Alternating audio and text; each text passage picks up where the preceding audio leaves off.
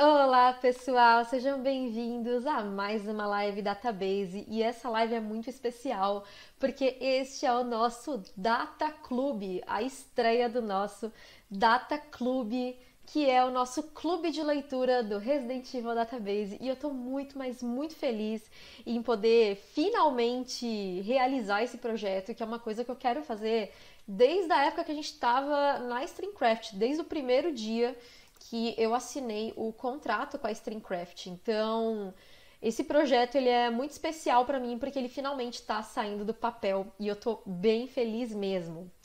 Gente, é o seguinte, primeiramente, boa noite a todos, tá? É... Divulguem tá, o canal, porque eu tô um pouco nervosa se vai dar certo, se não vai dar certo esse projeto, né? Então eu tô um pouquinho nervosa, mas eu espero que tudo corra bem, porque é uma coisa que eu me dediquei bastante essa semana para poder trazer para vocês aqui, tá? E antes da gente começar, eu quero passar só alguns recadinhos uh, para a gente poder iniciar aqui o nosso trabalho, tá, galera? E deixa só eu abrir aqui o nosso site, residentevildatabase.com, melhor site do Brasil. Ai, que coisa linda, melhor site do mundo. Porque, gente, eu tenho muito orgulho do meu trabalho, então, tipo, pra mim é o melhor site, entendeu? Então, desculpe. Quem não acha, sinto muito, né? Vira de costas, né? Como já diria a pensadora contemporânea, a Anitta. Porque, assim, eu tô abrindo aqui a nossa sessão de entrevistas, porque eu quero, né, passar uns materiais uh, complementares aqui para vocês a respeito da nossa leitura de hoje, que são muito importantes, porque, né, é, para a gente poder fazer essas análises aí desses textos, né, do, dos livros, das novelizações da S. de Perry, eu acho que é muito importante que a gente leia uma entrevista que a S. de Perry fez com o Resident Evil Database em 2013. Então, eu tô só procurando aqui, por quê? Porque eu já tava com isso separado e eu não sei onde eu guardei, mas eu já achei, tá? Que são é, alguns detalhes que ela passou nessa entrevista. Depois eu vou compartilhar bonitinho com vocês nas redes sociais e tudo, tá? É, que é uma entrevista que eu fiz com a S.G. Perry em 2013. Ela foi extremamente solista, ela é um amor de pessoa. E a gente fez essa entrevista com ela para tentar entender um pouco aí, né, da do que, que ela, ela pretendia, né? Se tipo tudo que ela tem, que ela colocou ali veio da Capcom, se muita coisa veio dela e tudo. Então, por isso que a gente é, tem que depois fica de lição de casa essa entrevista da S.D. Perry. E dito isso, gente, é muito importante, tá? A gente ter em mente aí que os livros, as novelizações da S. de Perry não são canônicas. Eu vou repetir de novo essa informação para ela fixar bem na sua cabeça. As novelizações da S. de Perry não são canônicas, ou seja, é um material licenciado, tá? É, a gente vai, ao longo do tempo, conforme a gente for lendo, a gente vai parando e analisando certas coisas do livro e falando, olha, isso aqui é inspirado no jogo, isso aqui é coisa nova, isso aqui tem no jogo, isso aqui não tem, as diferenças entre o jogo e o livro, tá? Então, é para fixar bem mesmo que eu tô falando isso que não é canônico, tá? Então, tipo, aí onde se encaixa na cronologia? Não se encaixa, tá? A cronologia dos livros é outra totalmente diferente, tá? E infelizmente, né, a gente não teve mais livros da S. de Perry, que é uma pena, Outra coisa, gente, ó, é, o mais legal é vocês terem, tá, os livros, né, para poder acompanhar. Tem a tradução aqui no Brasil feita pela Bem Virá, que é da, da Saraiva e tal, eles são da, da Saraiva, tá? E a Bem Virá fez essas traduções é, oficiais, tá? Então vocês encontram para comprar. Na descrição aqui do canal, eu coloquei os links para quem quiser comprar o livro, tá? Aproveita e me dá uma comissãozinha, né, gente? Porque eu ganho ali uns centavinhos, né, gente? Cada vez que alguém compra pelo meu link. E lá tem tanto a versão digital quanto a versão física pela Amazon, tá? Nos livros, nos links que eu coloquei aqui embaixo. Tô um pouquinho nervosa, como vocês podem perceber. E a gente, claro, vai começar hoje uh, pelo primeiro capítulo, tá? Do Conspiração Umbrella. Então, assim, quem tiver o livro, pega o livro pra gente ler junto, tá? Porque, que nem eu falei, é... às vezes pode ser que, tipo, uma coisa que eu tô falando, quem não tem o livro vai ficar assim, mas isso tá no livro ou isso não tá, entendeu? Então, tipo, o ideal é vocês terem o livro pra gente poder ir parando e comentando. Isso aqui é como se fosse uma Lauren, tá, gente? Só que de livro, tá? Então, é... eu tô fazendo isso, tá? E agora é o próximo passo do que eu quero falar aqui.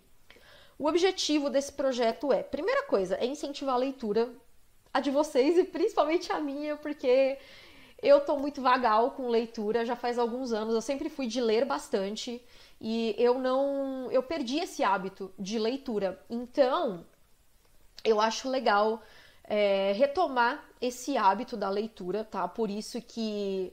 É, eu quero fazer junto com vocês, porque eu acho que a interação é muito mais legal, né? A gente lendo todo mundo junto, até porque a gente não tá tendo tempo para ler em off. Então a gente vai ler todo mundo junto e Shallow Now, tá? E também para promover o material, que eu acho que é muito bom e eu gosto muito da S. de Perry. E porque o pessoal sempre me pede resenha desses livros. Só que eu li esses livros, sei lá, 20 anos atrás, né? Então, a gente lendo agora juntos, né? Pelo menos eu tô retomando esse hábito e aí fica bem mais fácil para eu fazer uma resenha, né? Quando a gente termina, conforme a gente for terminando os livros, se esse projeto der certo, aí a gente vai fazendo resenhas deles, tá bom? Então, por isso também que eu preciso, né, como é que eu vou fazer resenha de um livro que eu li há muitos anos, né? Então eu tenho que reler porque eu já esqueci muita coisa, né, gente?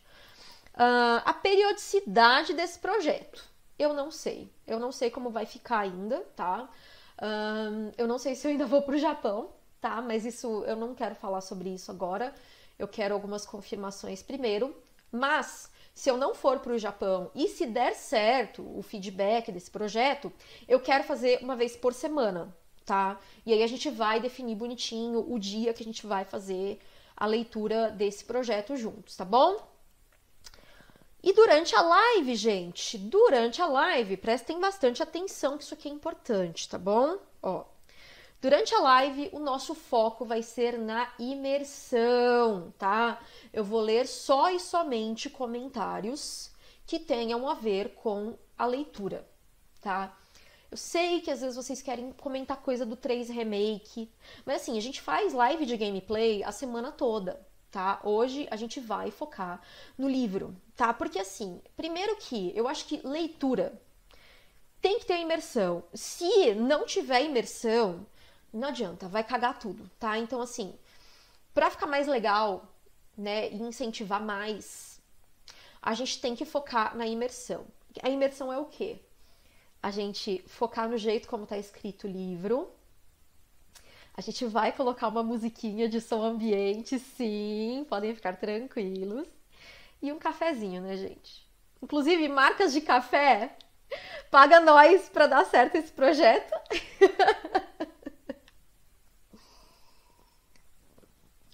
De modo que, se tiver Embers, gente, eu vou eu vou ter que ignorar, mas depois eu juro que eu tento procurar no relatório e ler os Embers. Mas assim, podem doar Ember, pode doar Spark à vontade, tá bom?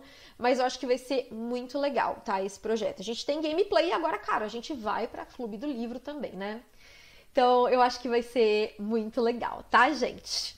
E, ó, não esqueçam, tá? Que a gente tem nossas redes sociais aí na descrição do canal, tá?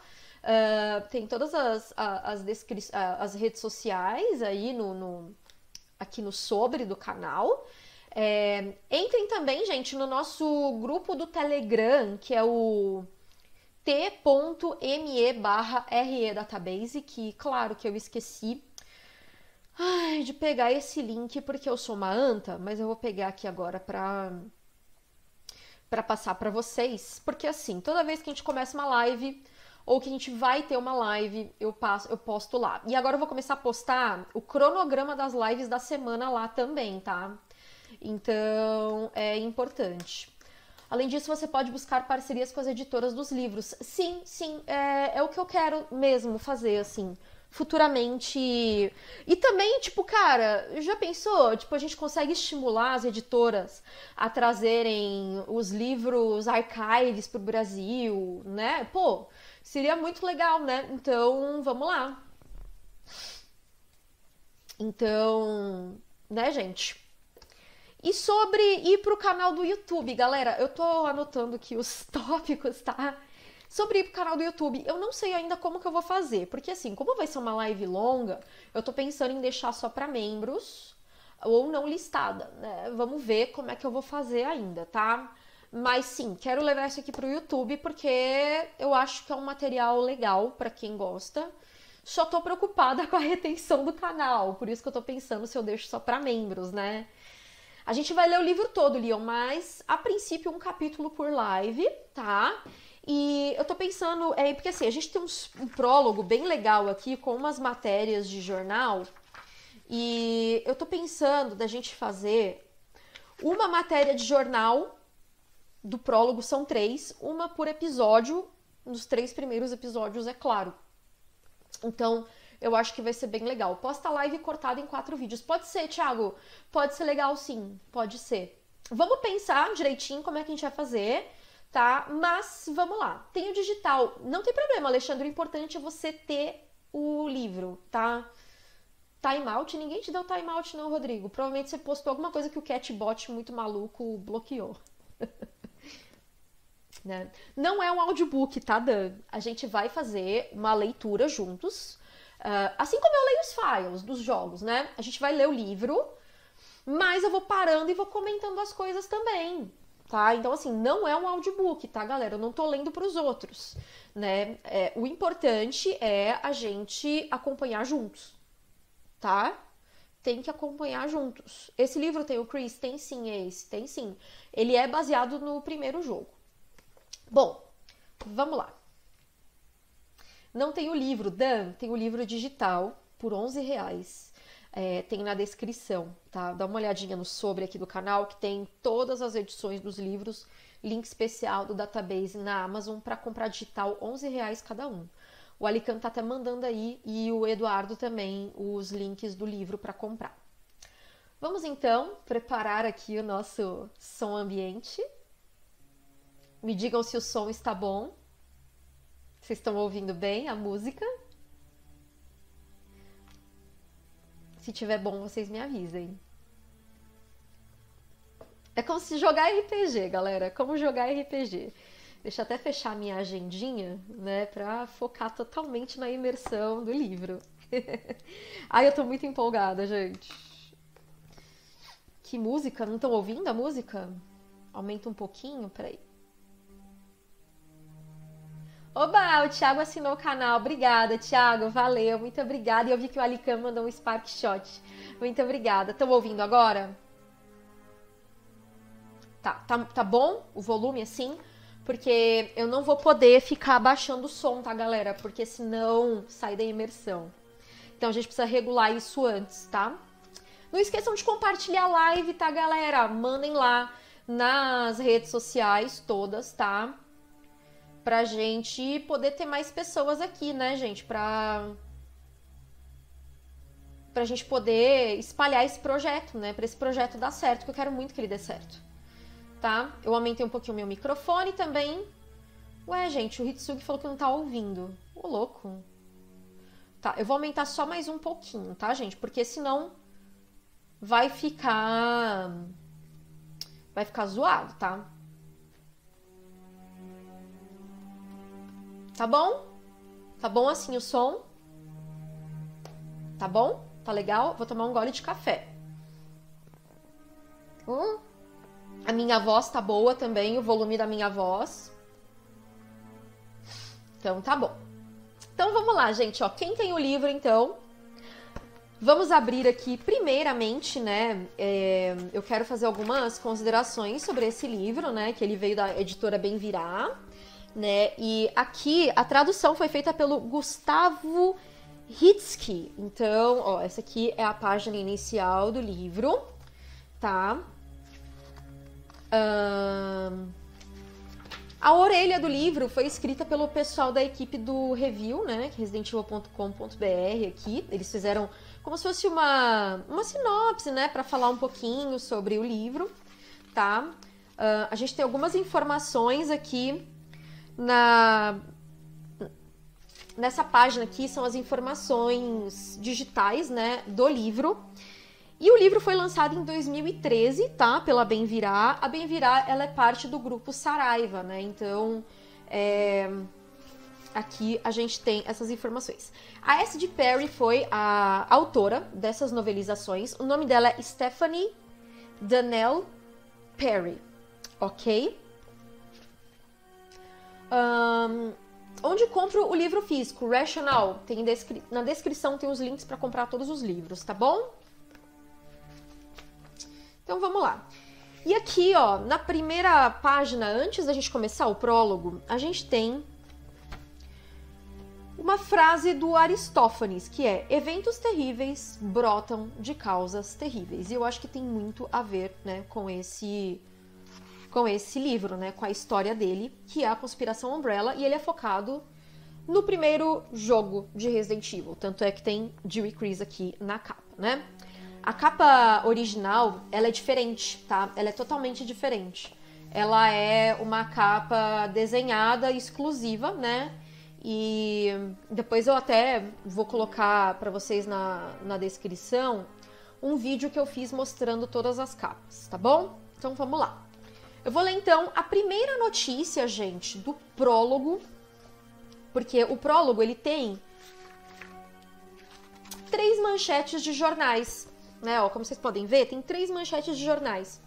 Então a gente vai fazer o seguinte: eu vou ler nos três primeiros episódios uma manchete de jornal, tá bom? Pra também não ficar muito maçante, tá? Então vamos começar aqui a leitura do prólogo. Lathan Weekly, 2 de junho de 1998 é a data da notícia. A manchete é Assassinatos bizarros em Raccoon City. Raccoon City. O corpo mutilado de Ana Mitaki, 42 anos, foi descoberto ontem, no fim do dia, em um terreno abandonado perto de onde morava, na região noroeste de Raccoon City, fazendo dela a quarta vítima dos supostos assassinatos canibais a ser encontrada nos arredores do distrito do Lago Vitória, no último mês.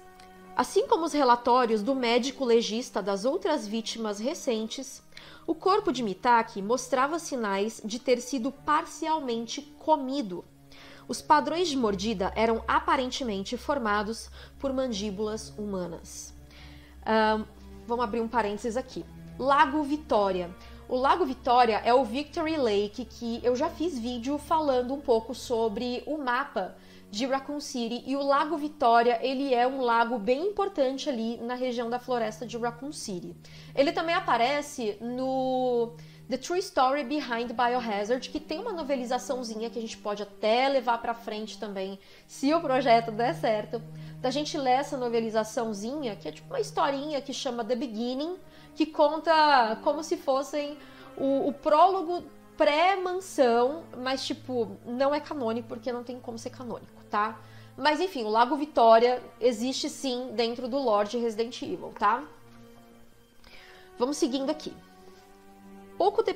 Pouco tempo depois de Mitaki ter sido encontrada por dois corredores na noite de ontem, perto das 9 horas, o chefe de polícia Irons deu uma breve declaração insistindo que o DPR, Departamento de Polícia de Raccoon, está trabalhando com diligência para capturar os criminosos responsáveis por crimes tão hediondos e que atualmente está consultando autoridades locais a fim de adotar medidas mais drásticas de proteção para os habitantes de Raccoon. Além da onda de crimes dos, dos assassinos canibais, outras três pessoas morreram de prováveis ataques de animais na floresta de Raccoon nas últimas semanas, elevando o estrago de mortes misteriosas para um total de sete. Então, vocês viram que foi chamado o Departamento de Polícia de Raccoon de DPR, mas é equivalente ao RPD. certo? D-P-R-R-P-D, ao contrário, né? Porque em inglês é Raccoon Police Department. Né? Em português ficou Departamento de Polícia de Raccoon, tá? Então a gente leu aqui a primeira notícia de jornal, né, nas páginas 9 e 10, e agora a gente vai para a página 13, que é quando começa o primeiro capítulo aqui do livro, certo? Então vamos lá, eu vou só tomar um gole de café para a gente poder começar, porque uma boa leitura tem que ter café, né, gente? Vamos lá. Capítulo 1 Jill já estava atrasada e de saída para a reunião quando conseguiu a façanha de derrubar as chaves na xícara de café que levava consigo. Houve um tinido surdo quando elas atingiram o fundo. Ao interromper o passo, olhando incrédula para a caneca de cerâmica fervente, o grande maço de arquivos que carregava no outro braço escorregou lentamente para o chão. Clipes e post-its se espalharam pelo tapete marrom. Ai, merda! Olhou para o relógio, voltando na direção da cozinha com a xícara na mão. Wesker convocara o encontro para as 19 horas em ponto, então ela tinha mais ou menos 9 minutos para percorrer uma distância que levava 10 minutos de carro, achar onde estacionar e sentar o traseiro numa cadeira. Era a primeira reunião importante desde que os Stars havia se envolvido no caso. Merda, era a primeira reunião real desde que fora transferida para Raccoon. E ela chegaria atrasada. Pudera, deve ser a primeira vez em anos que esquento a cabeça com o horário e derrubo tudo na frente da porta.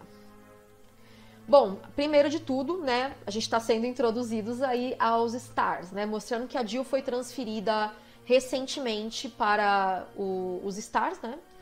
E que ela estava carregando as coisas e ela ficou bem nervosa, né? Ela estava nervosa para ir para essa reunião.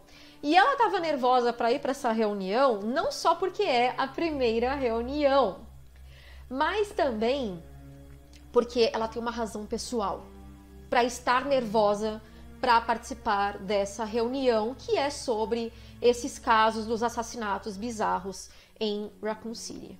Jill também gosta de café, sim, Alican. A Jill também gosta de café. Lembrando para quem estiver assistindo depois no YouTube, eu estou lendo a galera participando no chat da Mixer, porque o projeto vai sempre acontecer na Mixer, ok? Vamos seguir então. Apressou-se até a pia, resmungando baixo, tensa e arrependida por não ter se arrumado mais cedo. Era o caso, o maldito caso.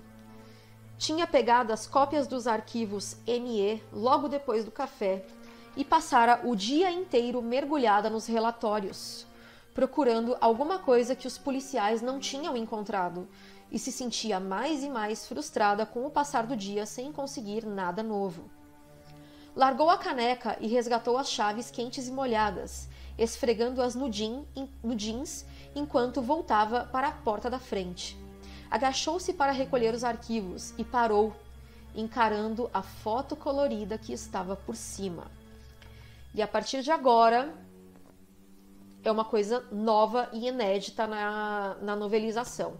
Uma coisa que não tem nos livros e só tem na novelização. Então vamos lá. Ai, meninas. Levantou a fotografia devagar sabendo que estava atrasada, mas incapaz de desviar o olhar dos rostos pequenos e ensanguentados. Sentiu o desconforto dos nós de tensão que foram se formando ao longo do dia enquanto via a foto da cena do crime. Beck e Priscilla McGee, de 9 e 11 anos. Jill tinha dado uma olhada antes, dizendo para si mesma que não havia nada ali que precisasse ver. Mas não é verdade, é? Dá para ficar fingindo ou dá para admitir. Agora, tudo é diferente. Tem sido diferente desde que elas morreram. Ou seja, a Jill tem um trauma aqui, que é a morte dessas duas garotas, que é uma coisa que não tem nos jogos e que foi introduzida aqui pela S.G. Perry. Então, tipo, criou-se um histórico do porquê que a Jill está tão focada nisso tudo. Ela tem esse trauma que ela carrega do assassinato de duas garotas. Quando se mudou para Raccoon, estava muito estressada, sentindo-se insegura em relação à transferência e não sabia nem se queria continuar no Stars. Ela era boa no que fazia, mas havia aceitado o trabalho só por causa de Dick. Depois do indiciamento, ele começou a pressioná-la para mudar de vida. Demorou um tempo, mas o pai era persistente, dizendo repetidas vezes que um Valentine na cadeia era suficiente e admitindo até que errou ao criá-la deste modo. Temos aqui mais uma informação que não tem nos jogos e só tem nos livros e que a gente não sabe o quanto ela é canônica porque não é uma informação que tenha nem mesmo no no Archives, por exemplo, que é a informação do pai da Jill, que é o Dick Valentine. E o Dick Valentine, a gente tem informação aqui de que ele está preso, né? A gente tem informação de que ele foi indiciado e ele está preso. E ele disse para ela: olha, basta um Valentine na cadeia, já é suficiente um, né? Então, outra informação que a gente tem também é que a Jill já era dos Stars e ela foi transferida para Raccoon City. E o que a gente tem, na verdade, é que os Stars, gente, não são uma divisão que tem em vários lugares, tá? Os Stars são exclusivos de Raccoon City. Foi uma unidade criada pela polícia de Raccoon City pela Umbrella em Raccoon City, tá? Financiado pela Umbrella em Raccoon City. Então não tem tipo várias divisões dos Stars pelos Estados Unidos ou pelo mundo, tá? Stars é somente em Raccoon City. Então aqui tá querendo dizer que tipo a Jill trabalhava para os Stars em outro lugar e ela foi para os Stars agora é, em Raccoon City e isso não é verdade, né? Isso aqui não é canônico, tá? Por conta do treinamento e do passado dela, não havia muitas opções, mas pelo menos o Stars apreciava suas habilidades e não perguntava como elas a tinha adquirido. O salário era decente, tinha o elemento de risco de que gostava cada vez mais. Analisando agora, mudar de carreira havia sido surpreendentemente fácil. Dick tinha ficado feliz e dado a ela a oportunidade de ganhar a vida de um jeito honesto. Então a gente está vendo aqui que a, o pai dela, né? A gente tem todos os indícios aí. A gente, quem já leu o livro sabe, mas o pai da Jill ele foi preso, né? Por seguir um estilo de vida que não era recomendado. E assim, ela foi para os Stars, ela foi aceita nos Stars por causa das habilidades que ela tem a Jill ela é a mestre do arrombamento, né? Ou mestre da gasoeira, como disse o Denis, que é o gerente de comunidades da Capcom aqui do Brasil, quando a gente viu que a tradução no Resident Evil 3 Remake de Lockpick vai ser Gazua, né? Então, a Jill, ela é a Master of Unlocking, né? Então, ela adquiriu essas habilidades de arrombamento porque o pai ensinou, certo? Vamos seguir aqui. Apesar de tudo, a mudança tinha sido mais difícil do que ela mesma fora capaz de perceber. Pela primeira vez desde a apreensão de Dick se sentiu realmente sozinha, e trabalhar para a lei começou a soar como uma piada. A filha de Dick Valentine trabalhando em nome da verdade, da justiça e da América. A promoção para o Alfa, uma bela casa no subúrbio, tudo isso era loucura e ela estava pensando seriamente em fugir da cidade, jogar tudo pro alto e voltar a ser o que era antes. O que, que ela era antes? Ao longo do livro, a gente vai descobrindo mais sobre esse passado da Jill. Até que as duas garotinhas que moravam do outro lado da rua apareceram na sua porta, perguntando com olhos cheios de lágrimas se ela era mesmo uma policial. Os pais estavam no trabalho e elas não conseguiam encontrar o cachorro. Beck com o vestido verde da escola e a pequena Pris de macacão, as duas tímidas e com o nariz escorrendo. Temos aí um trauma pessoal, porque as duas garotas eram, na verdade, vizinhas da Jill.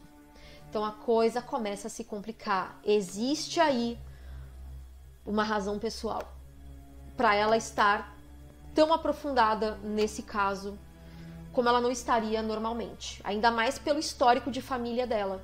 Então, assim, ela é filha de um cara que tem problemas com a justiça, ela aprendeu coisas erradas com ele, parece até uma piada, uma Valentine estar apoiando é, a polícia, a justiça, a verdade. Mas essas duas garotinhas mostraram para ela que esse é o melhor lado que ela, que ela poderia seguir. O cachorrinho perambulava em um jardim a apenas alguns quarteirões de distância. Não foi difícil encontrá-lo. E assim ganhou duas novas amigas com facilidade. As irmãs prontamente adotaram Jill, visitando-a depois da aula para levar ramos de flores bagunçados, brincando no jardim nos fins de semana, cantando músicas intermináveis que aprenderam com filmes e desenhos. Não que as meninas milagrosamente tenham mudado sua percepção ou extirpado a solidão, mas de alguma forma a ideia de ir embora foi posta em segundo plano e deixada de lado por um tempo. Pela primeira vez em seus 23 anos, passou a se sentir parte da comunidade onde vivia e para a qual trabalhava. A mudança foi tão sutil e gradual que quase não notou. Então, quando a Jill foi é, levada é, transferida para Raccoon City e ela tava tipo, cara, eu não tenho nada a ver com isso aqui, tipo, eu nem tenho por que tá aqui. E aí ela foi, acabou conhecendo essas duas garotinhas, tipo, ela tava nova num lugar, não conhecia ninguém. E essas duas crianças se tornaram meio que as únicas pessoas que a Jill conhecia. Tipo, a Jill tava se sentindo muito sozinha. Ela tinha o pai, aí o pai foi preso, aí ela entrou pra polícia, e agora ela foi transferida, e agora ela não tem ninguém. Então ela tinha essas duas meninas. Ela tinha. Porque muito provavelmente estas duas garotas também foram vítimas dos assassinatos bizarros. E a gente vai descobrindo ao longo do tempo também. Vamos lá.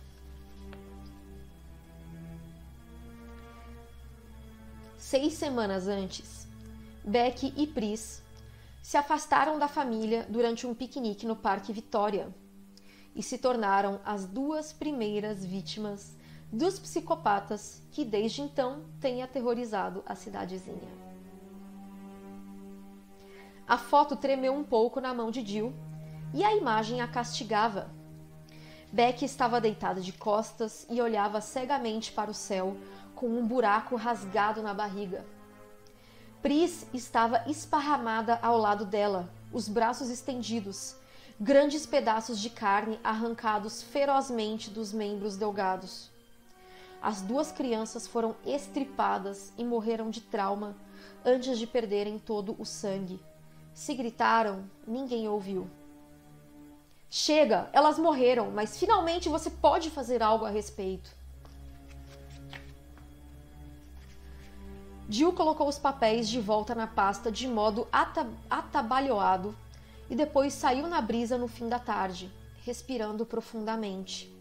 O aroma de grama recém-cortada era forte no ar aquecido pelo sol. Em algum lugar da rua, um cachorro latia feliz em meio a gritos de crianças.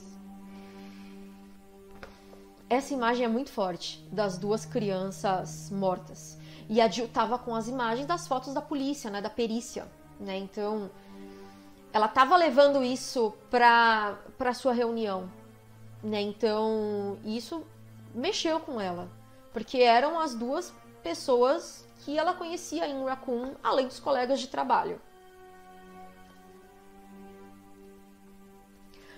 Correu para o pequeno carro cinza e amassado estacionado na calçada, esforçando-se para não olhar para a silenciosa casa dos McGee enquanto ligava o carro e se afastava do meio-fio.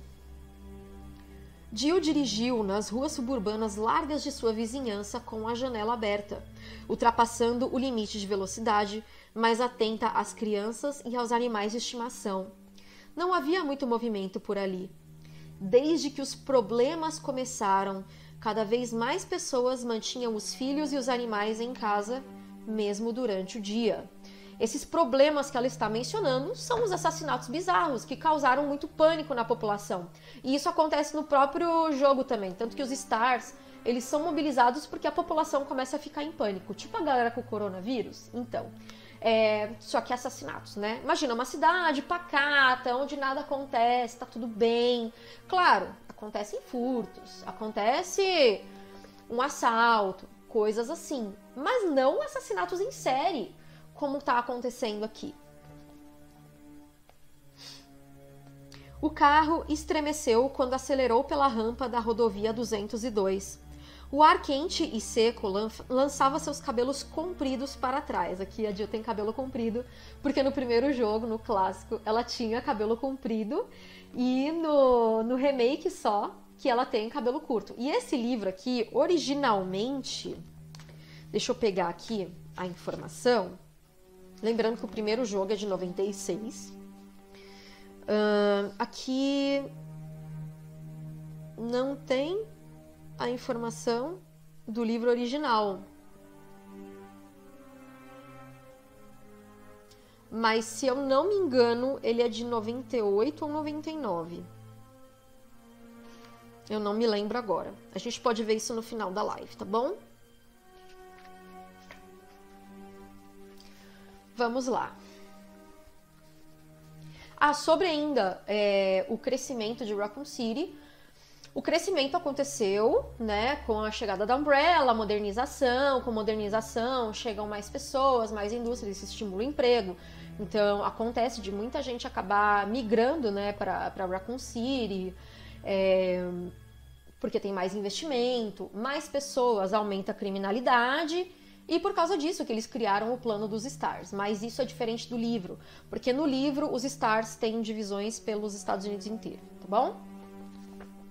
Vamos continuar aqui. Era uma boa sensação, como acordar de um pesadelo. Acelerou no anoitecer, ainda rajado de sol. As sombras das árvores cresciam pelo caminho. Quer fosse o destino ou apenas questão de sorte, a vida dela tinha sido marcada pelo que estava acontecendo em Raccoon City. Ela não podia continuar fingindo que era só uma ex-ladra exausta que tentava ficar fora da cadeia e que queria andar na linha para a felicidade do pai. Nem que aquilo que os Stars estava prestes a realizar era somente mais uma missão. Temos agora mais uma informação do background não canônico, que isso fique bem claro da Jill. Ela era uma ex-ladra, assim como o pai. Então, tudo que ela aprendeu como Master of Unlocking, todas as habilidades que ela usa nos Stars na novelização, é porque ela aprendeu com o pai dela, certo? Até o Leon tá comentando no chat, a Jill ex-ladra nesse multiverso da S. Perry. Amo. Não, é bem legal, é bem legal mesmo. Vamos lá. O que importava para ela era que aquelas crianças estavam mortas e que os assassinos ainda estavam livres para atacar de novo. Os arquivos das vítimas ao lado dela tremulavam um pouco. A parte de cima da pasta se mexia com o vento. Nove almas, talvez sem descanso, entre elas Becky e Priscila McGee. Jill pousou a mão direita no calhamaço amarrotado e jurou para si mesma que faria o que fosse preciso para encontrar o responsável. Não importava o que ela tinha sido antes, nem o que seria do futuro. Ela havia mudado e não descansaria até que esses assassinos de inocentes pagassem por seus atos. Então, tipo, a polícia tá achando que são assassinos em série, a serial killer que tá realizando esses assassinatos bizarros na região ali da floresta. Ninguém sabe ainda do que se trata. Ninguém, exceto Wesker, né? Mas enfim. Vamos fazer uma pausa aqui